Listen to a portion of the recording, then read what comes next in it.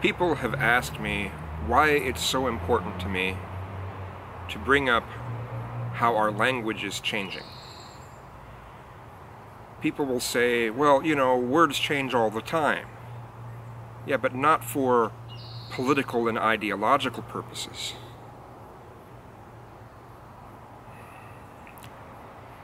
When words are changed for those kinds of purposes, and the way that they're changed requires using those words in a way that says fuck you to an existing culture, to the majority culture, I think there's a problem.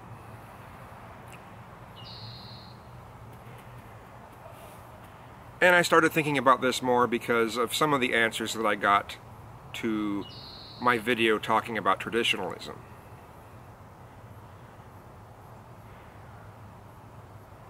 Now, I, originally I wasn't trying to say that everything that's traditional is bad. Um, but it, I, I wasn't very specific. I, I didn't go into enough details, and I should have.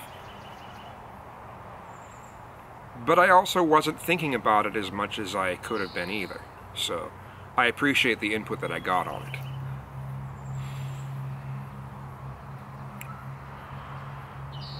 Cultural cohesion is something that I think is extremely important and is not something we should take for granted. It's not something we should just be willing to throw away. Because cultural cohesion is uh, is the cohesion of a civilization. But these words that have gotten modified, okay, let me just give some examples of some of them. Racism, sexism, transphobia, misogyny. All of these things, according to feminist theory and sociological studies, now mean prejudice or privilege plus power. These words can almost be used interchangeably because of how much they've changed for those purposes. They've been changed for ideological and political purposes. They are changed in such a way that, let's say when it comes to sexism, well, it's not really sexism if uh, if a woman uh, has a very, very nasty attitude towards men, that's not really sexism. And then if you try to just say, okay, well then fine, uh, if, if we want to do these new definitions, then a woman who has a massive prejudice towards men. But then the person, you know, the, the people that promote these new definitions will say, well, you know, that's meaningless because uh, they don't have power. So no matter what you do, you're wrong in trying to suggest that women can be nasty towards men.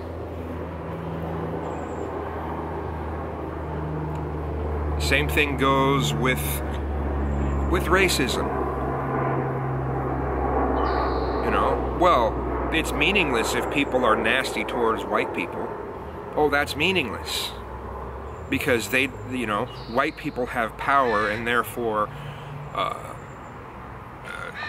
nothing that's done towards white people uh, means anything. Doesn't matter whether people are, are, are being prejudiced towards white people for the sake of revenge. None of that matters. See, it, it, it denies the realities of certain things. This is all for political and ideological purposes. Misogyny. Um, only men can be misogynists. They don't like to look at these new studies that have come out showing that there are just as many women who make these sorts of comments and have these sorts of attitudes as men do. But that clashes with the ideology and they don't want to look at it. Um, you know, th these things, I mean, language is part of the cohesion of a culture. English is the is the primary language here. It's not the official language here. We never, you know, here in the United States, we never declared an official language. Although there's places in Europe where they have declared they they've declared an official language. Um, but the United States didn't. But it's still our primary language. And when the language gets messed with in such a fundamental way, it can have a destructive element towards the culture. Other things that are happening with language. Um, we're not supposed to use the, the word transsexual now. You know, oh no, no, you're supposed to use transgender. Well, why? Transsexual is more specific. Oh, well, that's that's so dinosaur, that's so old school. Well, transgender has been opened up to mean the most trivial of things like I said in my last video, you know, there are people that, oh, well, I like dressing like this and I have interests in this sort of thing, therefore I'm a different gender. Uh, what? No. There are just so many things that are really, really messing with cultural cohesion. If you destroy the cultural cohesion of a country, you have essentially destroyed that country. I, expect a number of words to start getting redefined, like capitalism will probably be redefined as something. And it'll be this really negative word. Word penis will probably be re, be uh, uh, banned, and you, you'll have to use something else because the word penis will be considered offensive to trans people. uh, vagina will probably be kept because, you know, women, all women are wonderful and all men are terrible. All men are misogynistic or whatever, you know, type of shit, right? Um, money, the word money will probably be uh, redefined or demonized. Everything that represents our way of life will be demonized, will be, the language will be changed so anything that represents our way of life will be considered bad. It will be demonized. And the thing is, there hasn't been anything out there being shoved forth as to what's supposed to replace it.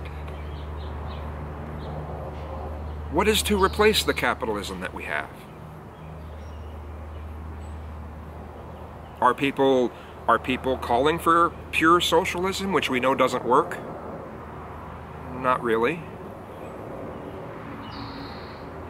It just seems to be a type of social Marxism that's being crammed down everyone's throats.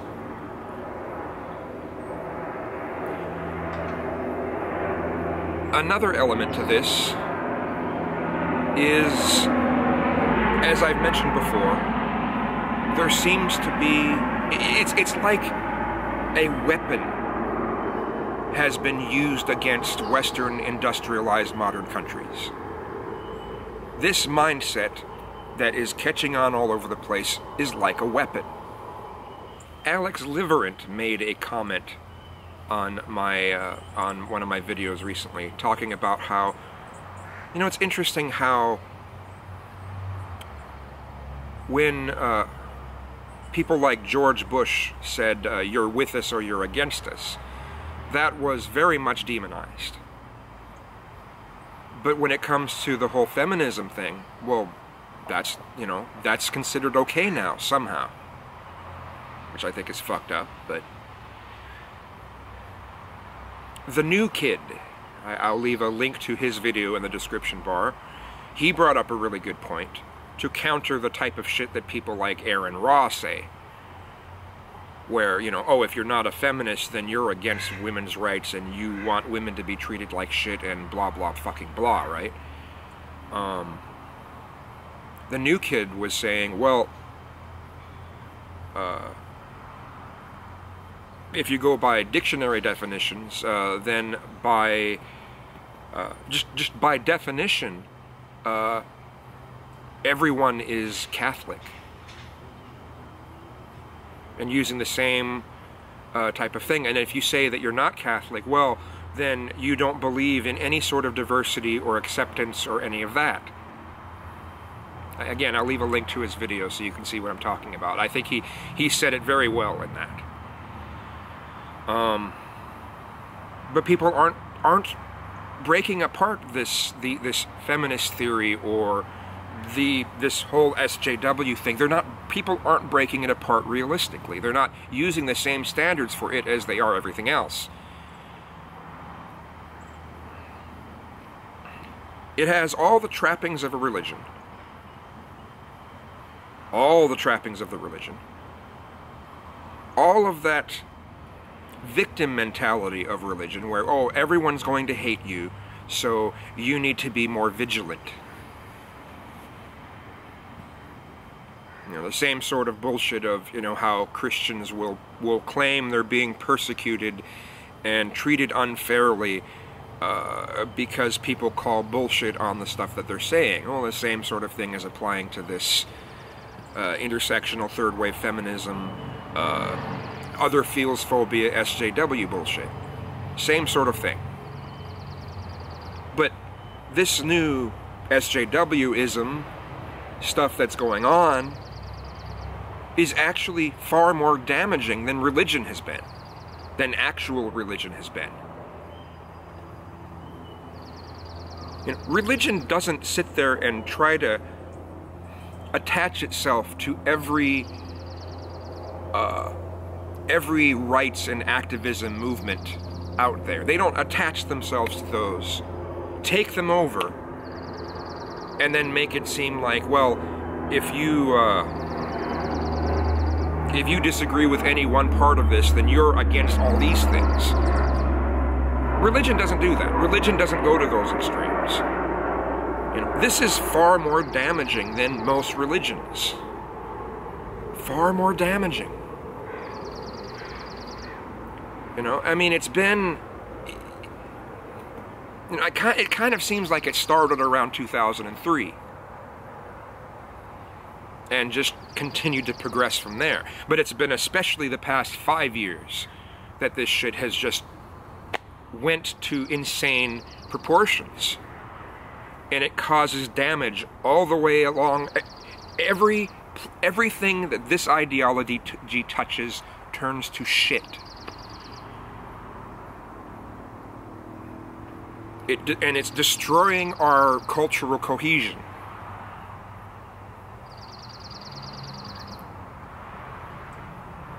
How how can this not be considered a weapon? It's like it was it was thrusted onto western industrialized countries to destroy them. And it is. It's destroying it's destroying Western industrialized countries.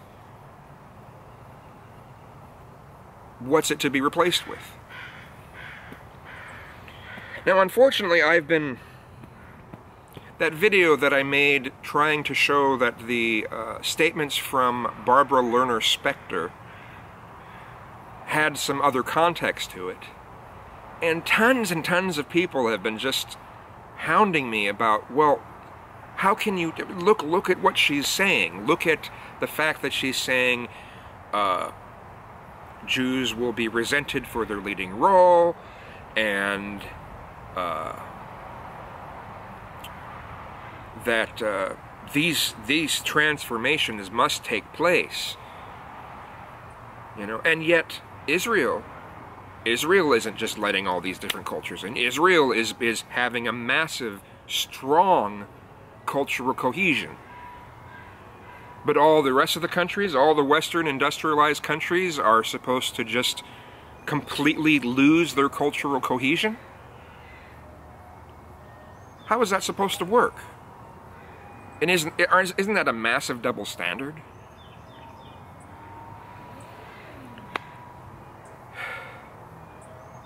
But I don't, don't like looking at that.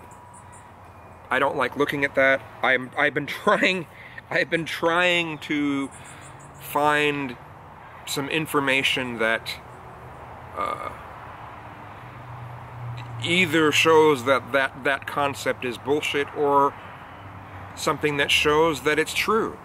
But all I get is propaganda on every side. Um, you know, I have there's one side that just makes Israel look wonderful. Everything's so great. Uh, doesn't matter how they're treating uh, the Palestinians. And then you've got, you know, the other side that you know completely demonizes uh, Israel and demonizes Jewish people. And these sources either try to shove forth that uh, if one uh, messes with cultural cohesion, they're trying to exterminate a race. You know, so they're, they're trying to say that, oh, well, that's, uh, uh, that's genocide. And I'm like, oh, come on now. Don't stretch words like that. That's the same stretching of words that the SJWs do, right? Then there's other sources that try to shove forth that uh, um, that white people are superior kind of shit. I mean, I mean, just these sources are just crap. They are obviously propaganda. You know, mostly nationalistic propaganda. And, you know, I can't really take any of those things seriously. And it's hard to separate the truth from the propaganda. You know, I, I can continue trying to read up on it from all these different sides, but it's just like, where is the truth? we are definitely living in interesting times. You know, I, I hope that uh, myself and billions of other people aren't going to be dead in 10 years from a collapse of Western industrialized countries. I mean, if some sort of one world government ends up replacing it, replacing what we have, okay, at least there's something. Or maybe it'll be a theocracy that replaces it. Or maybe it will be a monarchy that replaces it. But it's certainly not going to be replaced with capitalism. It's certainly not going to be replaced with socialism. It will be something else. But what will that be? I'm hoping it doesn't even come to this and that we will survive and that we will figure out this weapon that has been used against us that's destroying our cultural cohesion. Um, then again, just my using the phrase cultural cohesion could be seen as nationalistic propaganda. And as if I am promoting nationalistic propaganda. So it's, it's, it's a difficult thing. It's a difficult thing. And it's very difficult to see the truth through any of this shit. So what do we do? I have no idea. I know that we need to reject this completely changing our language for ideological and political purposes. We must reject this. This sort of thing has not been done on this kind of widespread uh, level uh, really in our history.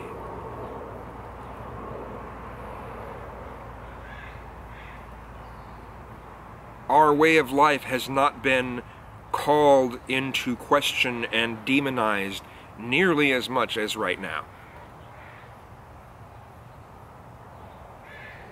Now, as I think that we need to uh, to throw away ideas that uh, are harmful, whether they're new ideas or traditional ideas, there are some things that we do and have done that the reason why they're done that way is because it has been proven over time to be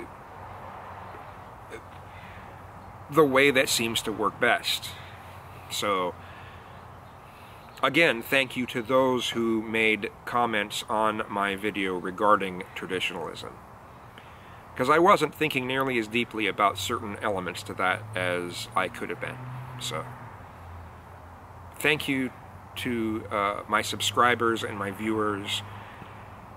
And uh, thank you to those who have really gotten me to think. I really appreciate it. I don't want to be in some sort of echo chamber. And sometimes I will look at things that we're not really supposed to look at, like the issue of Israel in what I described earlier. That's like the biggest taboo subject you can't talk about. And I'm not going to say anything one way or the other in any sort of definitive way because the truth is so difficult to find.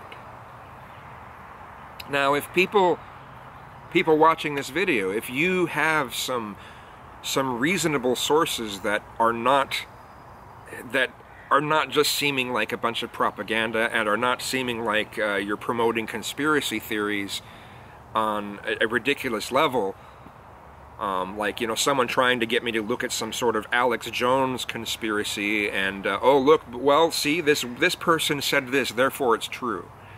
You know, give, give me give me some give me some reasonable sources.